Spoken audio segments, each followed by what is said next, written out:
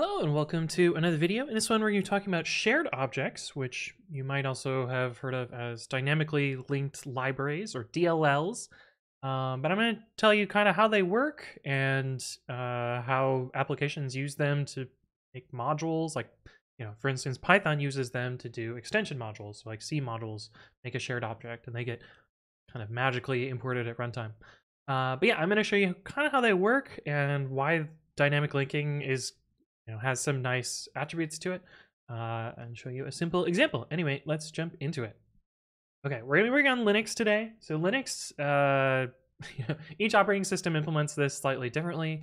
Uh, for instance, like on Windows, they're gonna be .dlls and .exes for dynamically linked libraries and executables. I think macOS uses dylib, D-Y-L-I-B for theirs, uh, but also .so, which is what Linux uses. Um, we're going to be working with Linux and the Linux tools today, uh, so the tools are going to be slightly different on a different platform. Um, but that's fine. Anyway, what we're going to be making today is a small little C executable, and it is going to use dynamic linking to pull in a third-party library and do some functionality. I'm going to show you uh, how we can kind of inspect that and see what it's linked against. And uh, also, we'll, I guess we'll draw a diagram at the end as well to kind of tie it all together. Uh, but anyway, we're going to write a little C file. Uh, before we get started, uh, we're going to be using UUID as our third-party library today. I think I used UUID in another video as well. Um, but we should expect UUID dev to be in our uh, installed libraries. And if you want to see the version that I have installed, I have this version, which ships with Ubuntu. Uh, this version will actually be important later. We'll come back to this in a bit. Um, we're actually going to show you that dynamic linking can make it so you don't actually care so much about the version uh, which is kind of nice. Uh, but yes, and we are also going to look at the files that are specified by this. We're going to dpkg-l, and we're going to be looking for uuid.h. This is the header file that's going to specify all the functions we can use. Uh, we're also going to include that, uuid, uuid.h. Uh, we're also going to get standard io.h so we can print some stuff. It's going to be a very silly program that just generates a UUID and then prints it. Um, so let's take a look at this header and figure out what we need out of here. Um, cool header. Uh, looks like there's a UUID T type, so we're probably gonna need that. UUID T, UUID. Uh, and it's only 16 characters. I think this means it's binary. So let's try and generate one of these and see what it looks like. And then there's probably some UUID to text thing. Um, how do we generate one? UUID generate. I think this generates a blank one. I think we probably want this function. I don't know. I don't know the right function, but let's uh, let's just run one. UUID generate random UUID, sure. And then got UUID percent s, and then let's pass in our UUID string. Let's see what this looks like and uh, generate that. So I'm going to compile this. We're just going to run gcc.t. This is not going to work. Uh, this is going to, oops, I did print. printf. It's not going to work for a different reason. Uh, you can see that we got undefined reference to UUID generate random. And that's because we didn't link in that other library. So when we tried to uh, build this, we specified UUID as a header. This just pulled in the header contents, but it didn't actually link the executable against that. So when we're running GCC, we need to do dash L and the library name. Now, usually the library name is the same as the um, the shared object name here, but without lib. that just is the convention, I guess. So we're going to use UUID as our library name here. UUID should generate us an executable, and we can run this executable. And it's currently printing out garbage here. Um, that's fine. I think that garbage is actually intentional. Uh, this is the binary representation, so we need to turn it into the text representation. Let's figure out what the text is. Uh, uh, star out. Yeah, that sounds like what we want. UUID unparse. How big is this char star? Do they have like a strlen thing in here? Len. Yeah, there we go.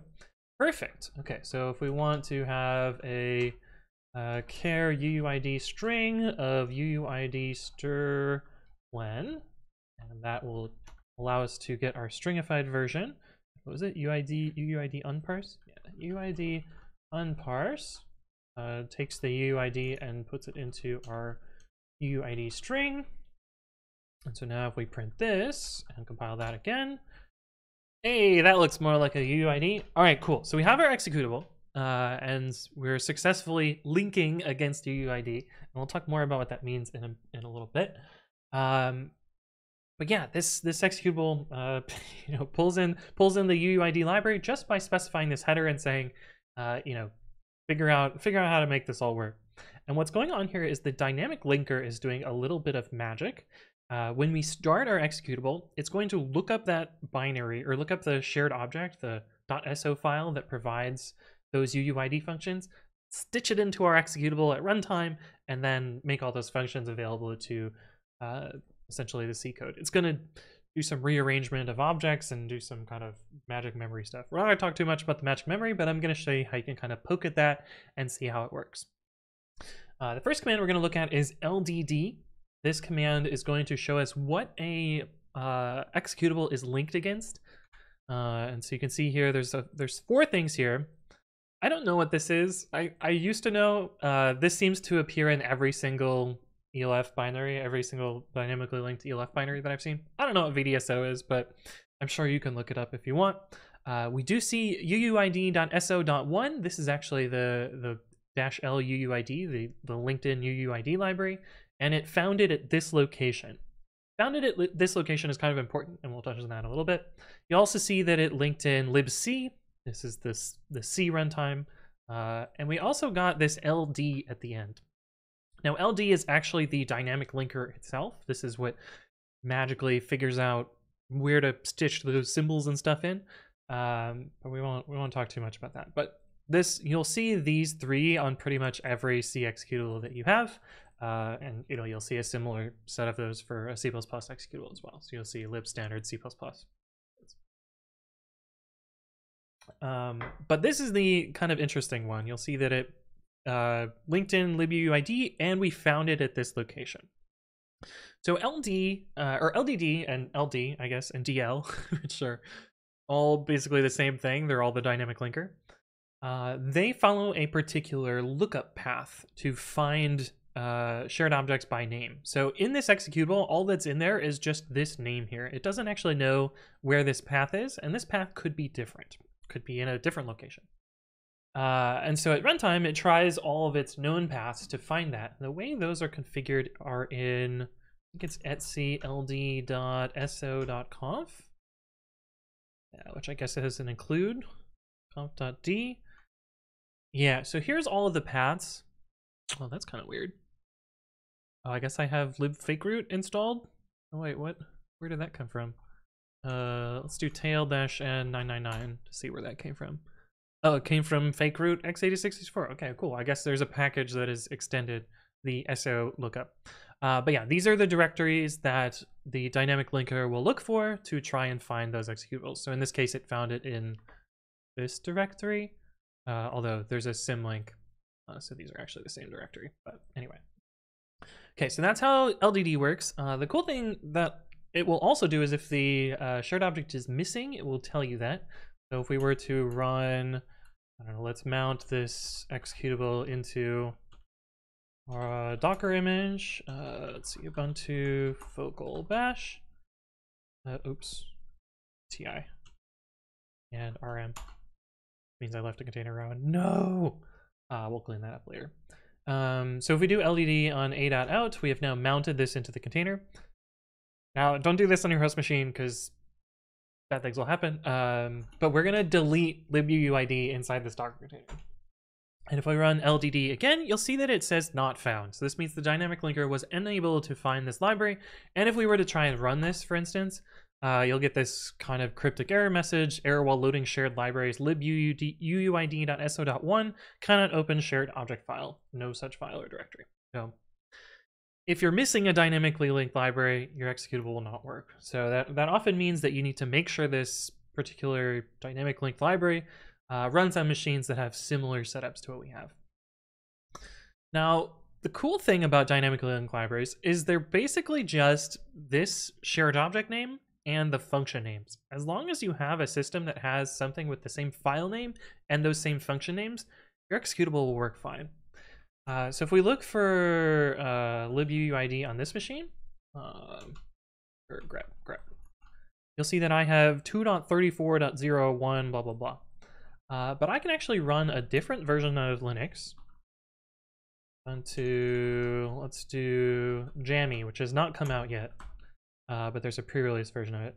Um, oh, we need to mount it in there. PUD uh, a dot out to a dot out in read-only mode. And if we look for UUID on here, you'll see we're at 2.37.2, which doesn't match our original version.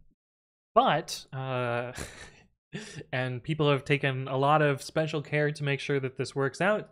Uh, both of these libuuid binaries have the same application binary interface, or ABI, which means that they have the same function call signatures in the same version, uh, such that you can use older binary, older compiled binaries against newer libuuids. If we run LDD here on a.out, you'll see that it still links against this same file name, but it's a different version. Uh, and if we run it, it still works. So we're, we're able to compile code on old, old hardware or old, old user space and run it on newer user space. All right, so that's kind of LDD, how things get found. Uh, I want to show you the actual symbols part and how that part works out. Uh, so the, the, the way you can look at symbols in an executable is by using the nm tool. There's actually like four or five tools that do this as well. There's like read, L, read ELF, there's um, the other one. I don't know, there's like four of them. I like to use nm personally because this is the oldest one that I've, that I've used for a long time, uh, but you can of course use whatever you want. Uh, if we run nm on a.out, it's going to print out a whole bunch of stuff here. Uh, the important stuff that we want to look at here is these undefined ones, these u's. Uh, and this is essentially saying that you will find these functions in a different place. We can do undefined only. Yeah. So you can see here that some of these come from libc, that's what glibc is, uh, and some of them come from UUID and they have a version on them. So you can see these are versioned at UUID version 1.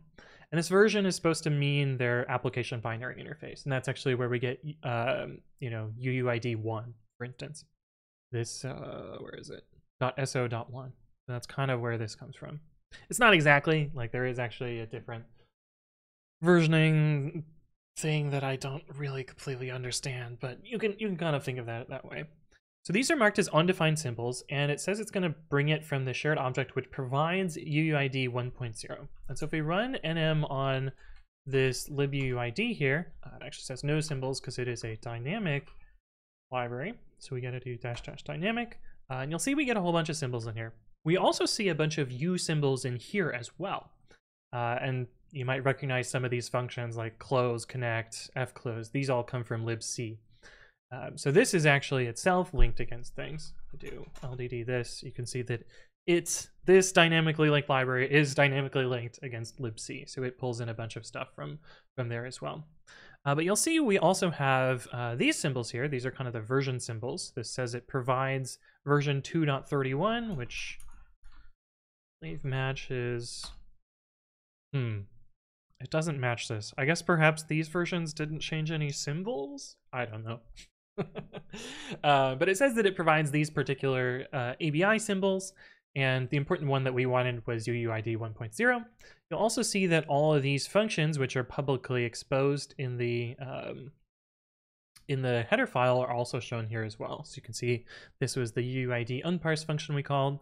Uh, we also saw the UUID generate uh, random function. I don't know what this double underscored one is. Was that in the header?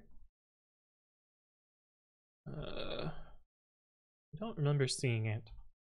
Maybe this is just left over from uh, some accidentally exposed symbols. I don't actually know.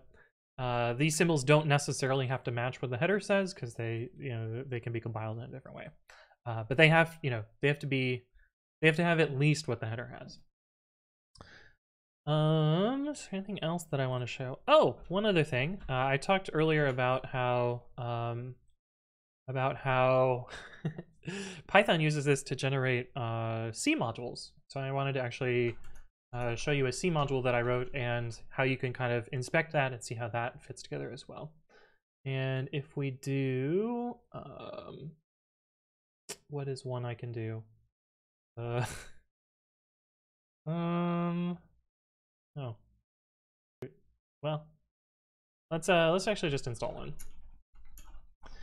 And this is actually going to show a different technique that I wanted to show in a different video, but I'll just kind of quickly introduce it here and we'll talk about it later. So if we pip install uh, Oniguruma CFFI, this is a regex library that I wrote, and it installs some shared objects into here. So you can see there's this CFFI backend, and there's this thing. This is the one that actually comes from my library. We run LDD on that, you'll see that this links in a bunch of stuff as well. Again, we still see this Linux VDSO, we still see libc, and we still see LD. Those are kind of un, uh, like not that useful, uh, but we also see these two libraries as well.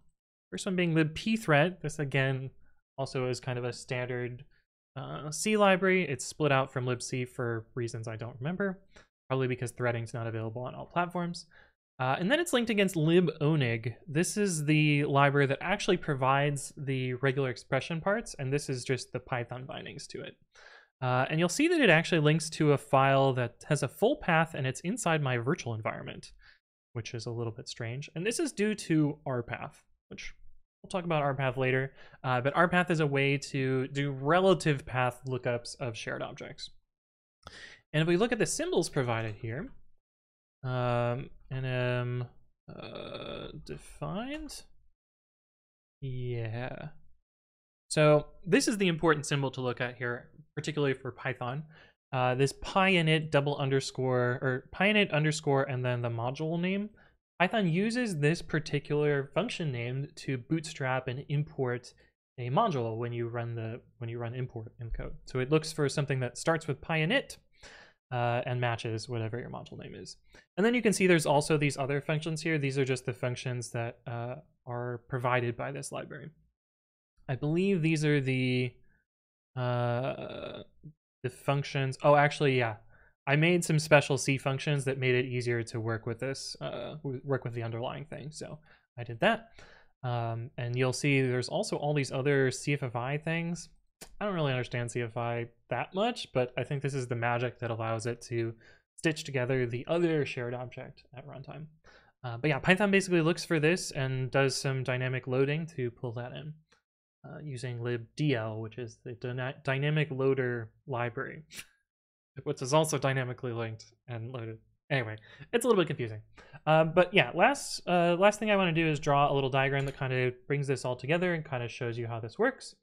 Um, so we start with our executable here. Say that this is a.out. It has a list of libraries. So let's say it has uuid libuuid.so.1. And it has a list of symbols. Uh, symbols, and let's say it needed uuid generate, uh, generate, and uuid unparse. Um, so those are the symbols that it needed, and a magical little thing called the dynamic linker which gets invoked when the executable starts, uh, looks at this information here, and first goes and finds the um, the right shared object for that, and that would be at you know at user lib whatever. Um, say let's say libu uid.so.1. It's actually not that due to multi-arch. That's why the path has like x86 64 GNU or whatever. But you could imagine it lives at this path.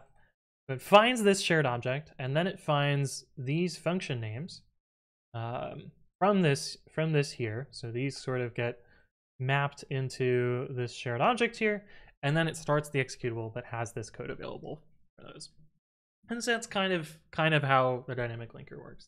At least that's how I think about it in my head. Oh, anyway, this was a lot. Hopefully you found this video interesting. If there are additional things you would like me to explain, leave a comment below or reach out to me on the various platforms. But thank you all for watching, and I will see you in the next one.